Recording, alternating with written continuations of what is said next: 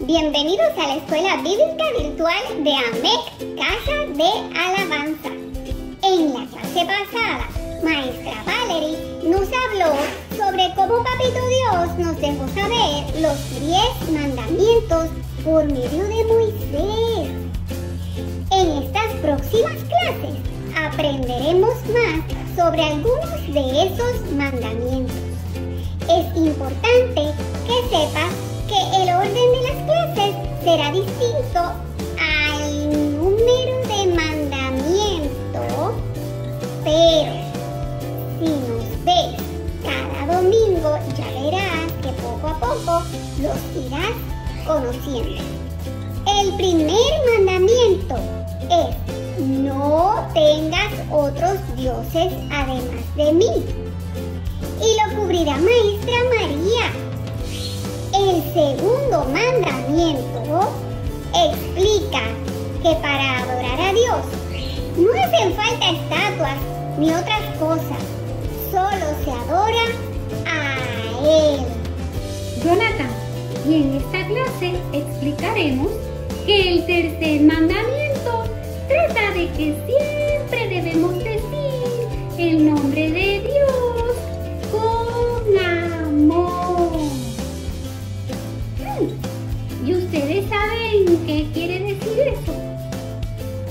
pues esto significa que cuando hablamos de Papá Dios y usemos su nombre, lo hagamos en reverencia, con respeto.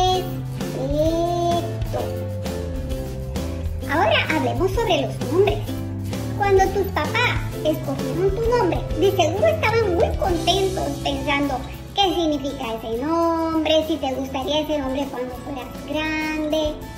Sí, tu nombre es muy importante.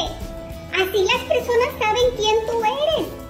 ¿Verdad que te agrada que tu mamá o tu papá te llamen por tu nombre y lo hagan con mucho amor? ¿Verdad?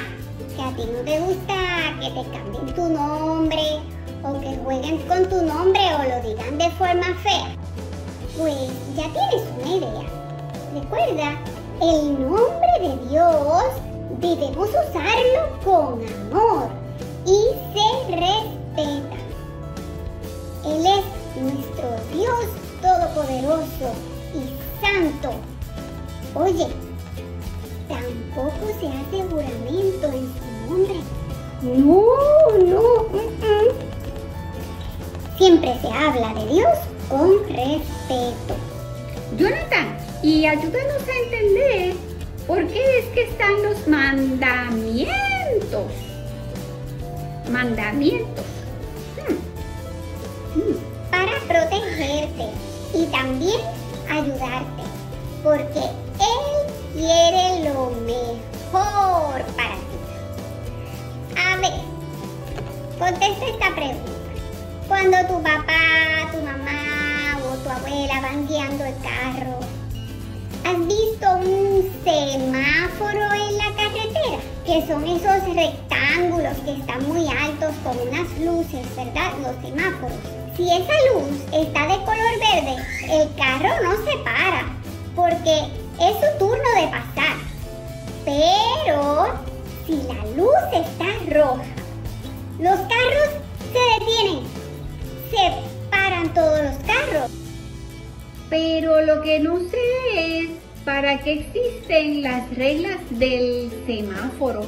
Eso de los colores, el rojo y el verde. ¿Para qué son? Pues esas reglas existen para que los carros no choquen y para que no lastimen a las personas que van caminando por la calle.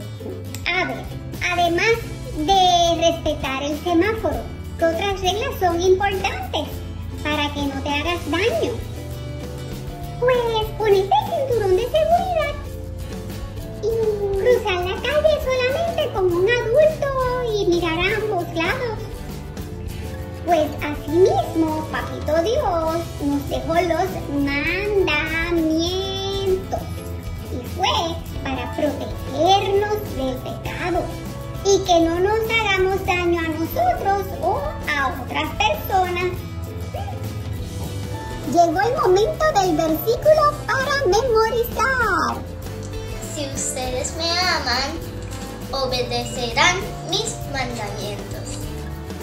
Si ustedes me aman, obedecerán mis mandamientos. Amiguito, llegó el momento de la oración. Antes de orar, vamos a estirar nuestro brazo, nuestro brazo lo más lejos que podamos. Nos juntamos y orar. Padre, te damos gracias, Señor, por darnos un, vida, un día más de vida, Señor. Señor, porque nos permitiste aprender más sobre tu palabra. En este día te, te pedimos, Señor, que nos ayude a decir tu nombre con amor, Señor, como nosotros, como nuestra familia, Señor. También te pido que nos ayude a obedecer tus mandamientos, Señor. Todo esto te lo pido en el nombre del Padre, del Hijo, del Espíritu Santo. Amén. Adiós. En el día de hoy felicitamos a nuestra querida Estela, quien cumplió cuatro años en el mes de mayo. Te estás poniendo grande, Estela, qué alegría. Esperamos que hayas tenido un hermoso día junto a tu familia y que Dios te continúe bendiciendo.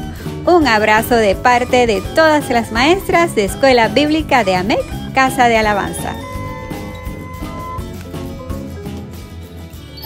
Bendiciones. La Escuela Bíblica de AMEC Casa de Alabanza informa.